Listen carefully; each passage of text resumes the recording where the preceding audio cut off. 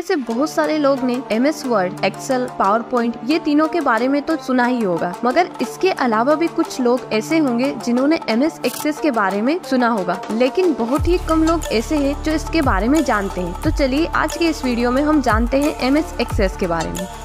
M S access एक relational database management system है, जो माइक्रोसॉफ्ट कॉरपोरेशन द्वारा बनाया गया है। इस सॉफ्टवेयर का यूज़ डेटा को ऑर्गेनाइज और स्टोर करने के लिए किया जाता है। एम एस एक्सेस को आप data table query form report और मैक्रोस बनाने के लिए यूज़ कर सकते हैं।